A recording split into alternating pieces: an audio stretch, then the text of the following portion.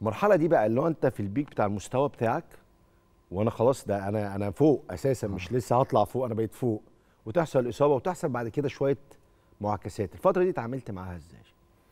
هو طبعا إحنا الفترة دي كان عندنا 17 كأس أمم أفريقيا في الجابون ورحنا وصلنا نهائي مع المنتخب مع كوبر وبعدين آه، كأس عالم 2018 في روسيا. فكلها كان زي ما انت بتقول أوقات كويسة جدا. 2019 اتصبت في مباراة سان داونز اللي هي كان خسرنا فيها من سان داونز بخماسية. اتصبت في أول خمس دقائق إصابة في ركبتي وبعدين آه، بقت تبقى فترة طويلة ست شهور.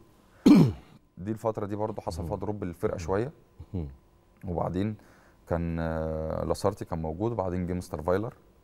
اشتغل مع الفرقة بشكل كويس. آه، وبعدين رجعت أنا مع مستر فايلر. وحتى أنا كنت لسه قريب يعني بتكلم مع مستر فايلر وكان من أفضل المدربين اللي موجودين في النادي الأهلي ومن أفضل المدربين اللي اشتغلنا معاهم في النادي الأهلي في الأجانب يعني. أنا بشوف هو مانويل جوزيه من أفضل ناس اشتغلنا معاهم.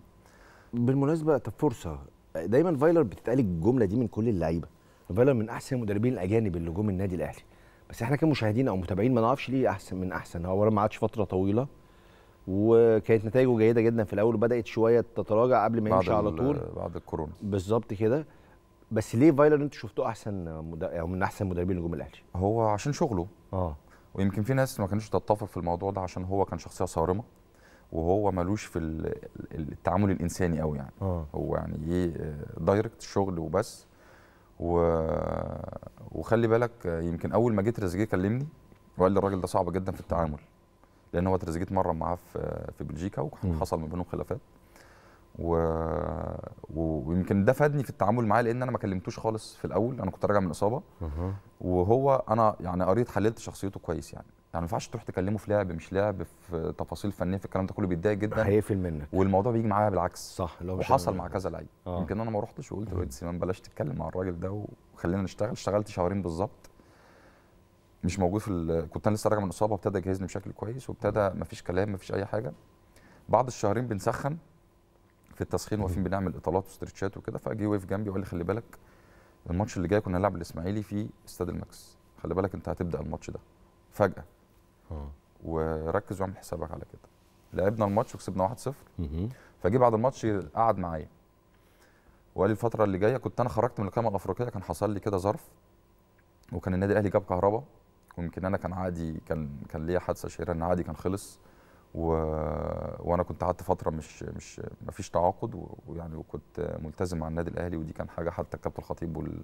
قدرها جدا. آه قدرها جدا إن أنا كنت آه، يعني طلعت من القايمة وما كانش في تعاقد وكان سهل إن أنا لعيب حر يعني ساعتها. آه. لكن طبعا العلاقة بتبقى بينك وبين النادي الأهلي يعني أكبر من أي حاجة يعني وده كلام كان واقعي بمواقف يعني. بالمناسبة في الفترة دي آه، طبيعي الانديه كانت هتتكلم معاك أنت واحد فري أنت بالنسبة لي مكسب آه، كبير جدا. أنا أي نادي أنا مش رايح أشتري لاعب أنا رايح أخده ببلاش.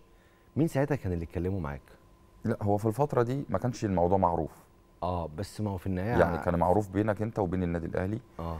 آه لأن هي كانت حاجة حصلت المفروض كان يبقى في آه، إجراء ساعتها وحصل تأخير فيه ف وأنا كان فترة إصابة وكورونا فما كانش في تركيز في الموضوع قوي. لكن آه أنا نفسي ما كنتش أعرف. آه. يعني يعني ما كنتش أعرف عرفت بالصدفة. فحصل بقى ناس بتقترح يعني. بعض الوكلاء بعض الناس طبعا اقترح على الأندية المنافسة إن يبقى في تحرك وبتاع بس طبعا الموضوع يعني مرفوض جدا وما فيش تفكير فيه خالص. وبالعكس أنا لما عرفت أنا يعني بلغت المسؤولين في النادي. تمام. ويومها وقعنا على طول عقود يعني. طيب هنكمل مع فايلر. وفايلر كان الراجل بدأ يعتمد عليك بشكل كويس. اشتغلنا بقى أربع ماتشات. حلو. واتكلم معايا وقال لي أنت هتبقى بالنسبة لي من العناصر المهمة والأساسية بالنسبة لي. لعبنا الأربع ماتشات تأهلنا في أفريقيا لعبنا الهلال السوداني وبعدين ماتش في الدوري الاتحاد وبعدين ماتش بلاتينيوم. كان معانا فرقة اسمها بلاتينيوم. وبعدين كسبنا في بعد نص ساعة كسبنا 1-0 بعد نص ساعة جت الإصابة الثانية في وتر اكيلس. دي بقى آه بس فقعدت فيها فترة طويلة بقى. عطلت. آه دي اللي يعني كل ما بتبقى في مستوى كويس أو هم بتعلى الاصابتين جم ورا بعض قعدت فيهم سنة ونص. كانت فترة بقى طويلة يعني. آه.